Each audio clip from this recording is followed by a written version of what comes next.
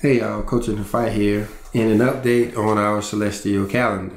Now, we're looking at a verse from chapter 11 of the Third Testament of the Bible, which we'll be talking about in an upcoming video. If you would, go ahead and read through these two verses and leave a comment that we can talk about in an upcoming video about them. But in this video, like we said, we're going to be talking about the calendar. So we're going to be looking in the book of Enoch as well as the book of Jubilees at the seasonal days, the days of remembrance, those four additional days that are unique to the sacred calendar. We'll be comparing it to the Jewish calendar.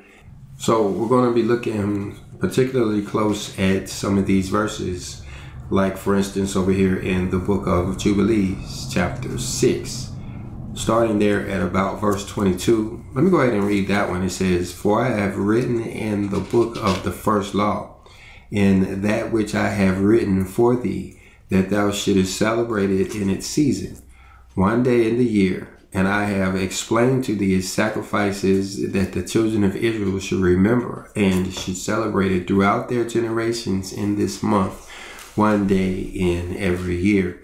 So that right there is actually talking about the Feast of Weeks. You see there in verse 21.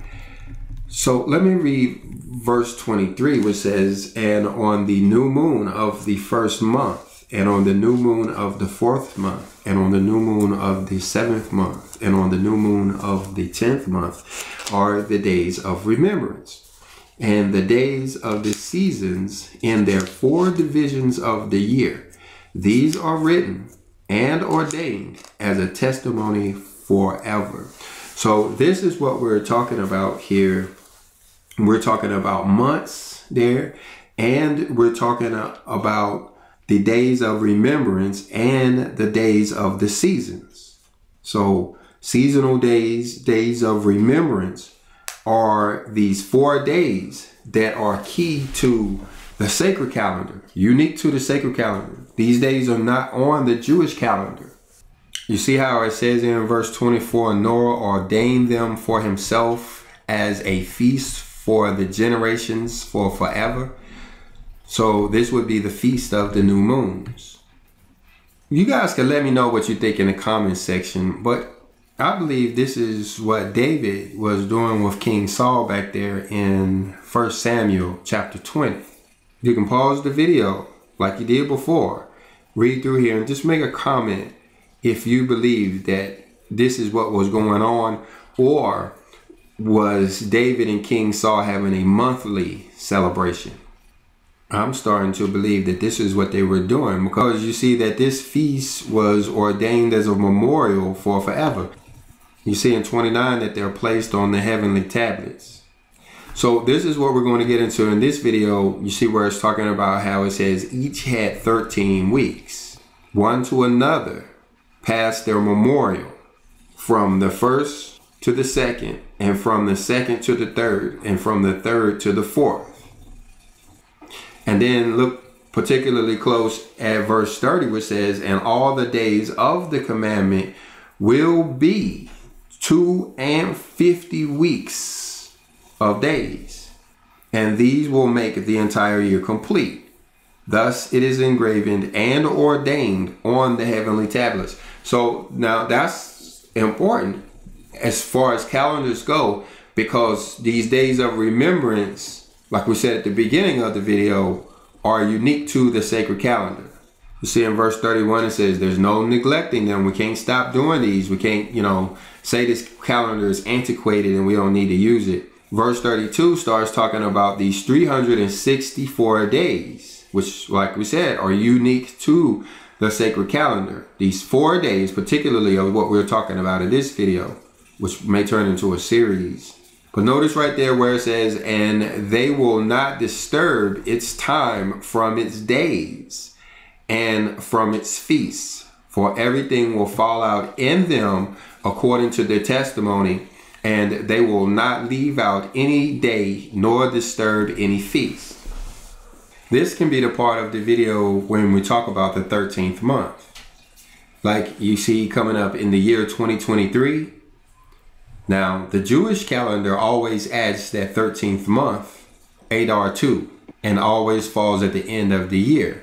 Well, when you remember the seasonal days, you find that the 13th month of that particular cycle falls in the summertime because the new moon will be sighted before September the 18th. It will be counted as Elul 2 or second Elul. And you say, well, what makes that a big deal? Well, we'll cover that in a future video, Father willing, because that's concerning the feast days of tabernacles in the year 2023. How about those who follows the Jewish calendar will celebrate their Day of Atonement a month too early? So that's what it's talking about is feasts. The feast will be off for a month that year. This is the difference between the Jewish calendar and the sacred calendar or the Enoch calendar.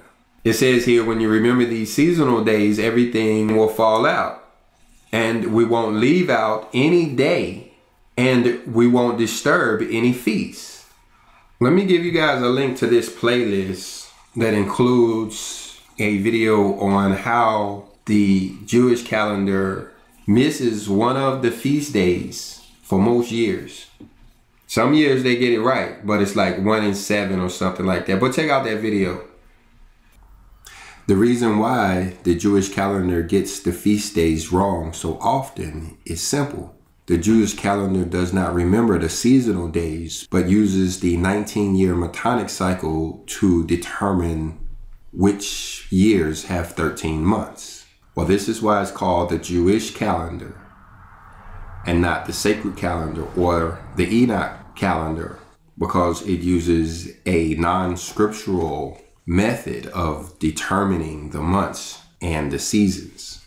The days of remembrance or the seasonal days are absolutely necessary for the reckoning of the celestial sacred calendar or the Enoch calendar. So then you start to see what happens when we don't do this. And again, pause the video.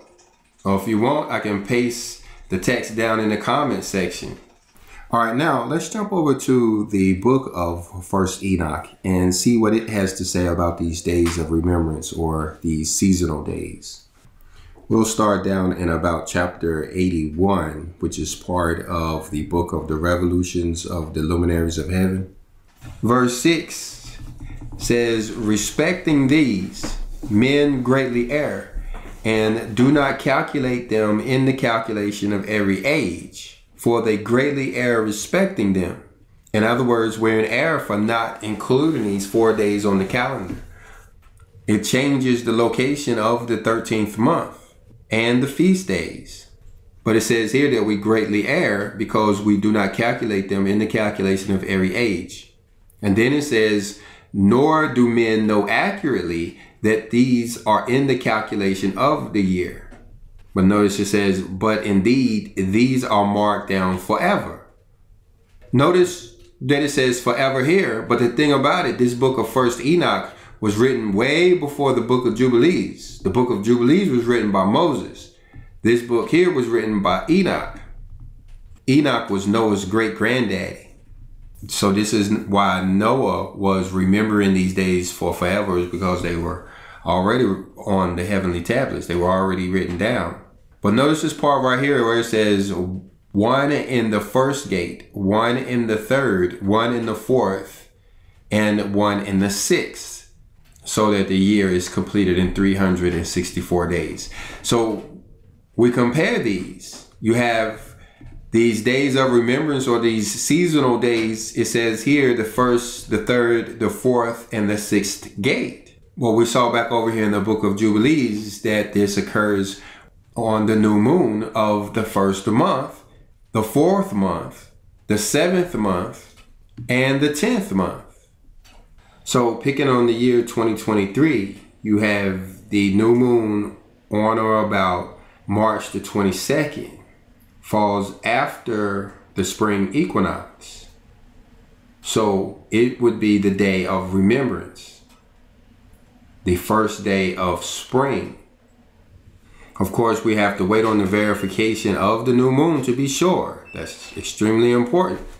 But if the new moon is sighted on March the 22nd, then the first month in the year 5995 will start on Wednesday evening, and our calendars would look like this, with the Passover meal occurring on the evening of April the 4th. Now, it's important to get that right, but we'll do more videos on it, especially after we get the sighting of the new moon.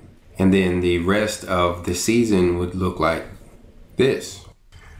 But I'm getting a little bit ahead of myself. So let's go back over to the book of Jubilees, chapter 6, and look closer at verses 29 and 30, as it's talking about these seasons and how each of them has 13 weeks.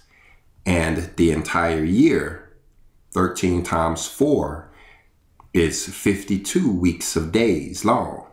This needs a little more study because you probably know already that each lunation is only 29.5 days long.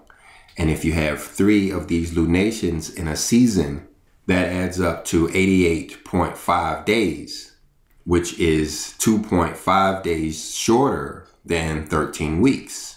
So, what was Moses talking about? He definitely wasn't talking about months so how does these 13 weeks add up per season? Well, for that, we have to come back to the first chapter of the book of the revolutions of the luminaries of heaven, which can be found in chapter 71 of the book of first Enoch, where Enoch starts talking about these gates or these portals. And it's really important to understand that a gate or a portal described in Enoch is not a month. They're not the same thing the gates are regulated by the position of the stars, whereas the months are regulated by the moon, like the day is regulated by the sun. So let's see how all of this works. First thing we have to do is split our year up into four sections, or the four seasons. And then from there, we can split each season up into three gates. There are 12 gates total, spaced 30 days apart. So with the spring equinox being sometime around mid-March, the first new moon after that date would be the day of remembrance for the spring season and the first day of the first month.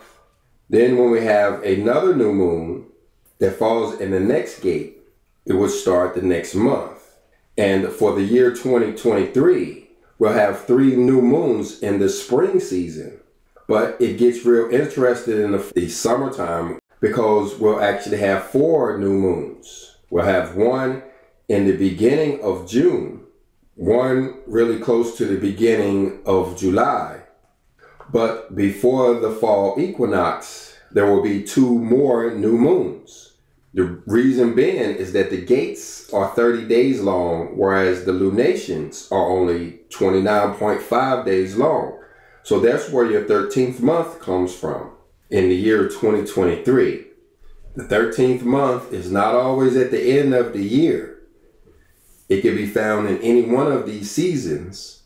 All you need is for an additional new moon to fall within that season. Like, for instance, in the year 2023, when the summertime will have four new moons. This is why it's important to keep up with the days of remembrance. This is what it's talking about when it tells us that our seasons and our feast days will stay aligned. We won't lose any days or weeks or months or anything when we pay attention to the days of remembrance. If we don't, remember the seasonal days will be like the people following the Jewish calendar in the year 2023 celebrating the fall feast days an entire month too early. I hope this makes sense. If it doesn't, or if you have any questions or anything, just let me know in the comment section. We'll do more videos on this as we try to get a fundamental understanding of how the sacred calendar works.